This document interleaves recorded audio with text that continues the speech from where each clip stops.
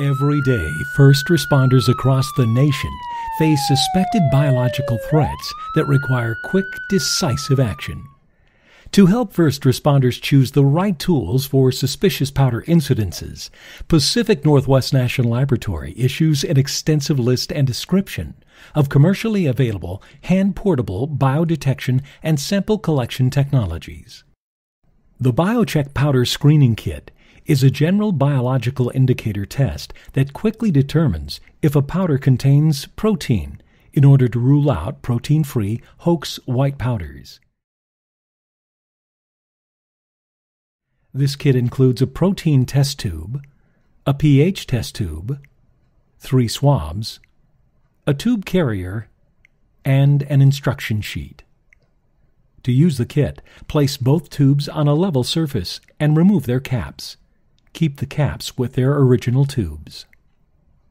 Next, remove the swab labeled number 1 from its packet. Roll it in the sample so that the surface of the swab head is covered. Do not overload the swab. Put the swab in the protein test tube labeled number 1. Repeat these steps with the acid-base swab and the pH test tube, both labeled number 2. Once both swabs are in their tubes, replace their caps and shake the tubes to mix. After five minutes, the color of the solutions will show the results. If the protein test tube turns purple, the powder contains protein. A positive protein result indicates the possible presence of a biothreat, but it could be a harmless protein. Further tests are required to identify the specific substance. A negative result, or a protein test tube that does not turn purple, could mean one of three things.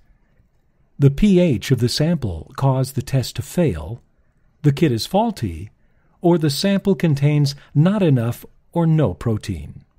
To rule out a failed test, first check the results of the pH test.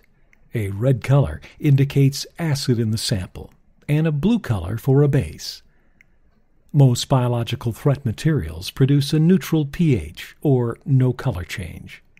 An acid or base can cause the protein test to fail, in which case a different type of test must be used. To rule out a faulty kit, use the control swab. Do not rub the swab in the sample, but place it directly into the protein test tube, labeled 1.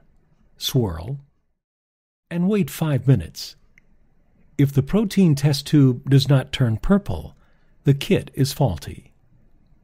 Finally, if the pH of the sample is neutral and the control swab shows the kit works, a negative result means no protein was detected, or the amount of biothreat agent is extremely low. Follow proper disposal guidelines for potentially biohazardous materials. PNNL is dedicated to supporting first responders in detecting biological threats by improving their capabilities. Visit PNNL's detection resource site for the complete biodetection technologies for first responders report.